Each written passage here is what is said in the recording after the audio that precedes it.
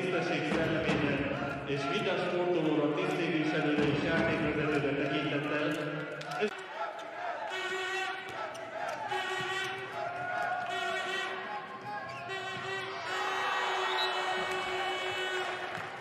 Köszönöm, hatom szégyesen. Gulik,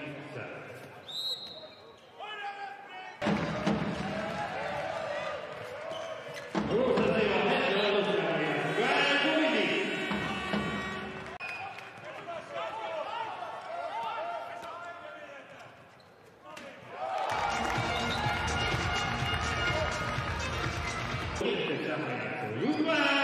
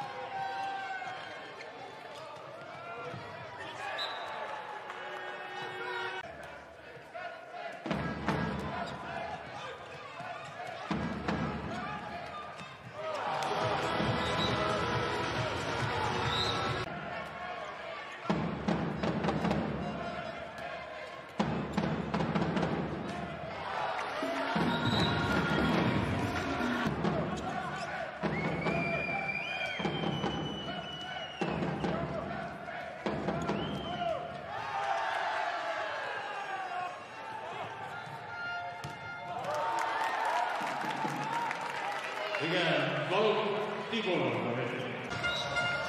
多少张嘴在讲呀？日本国家。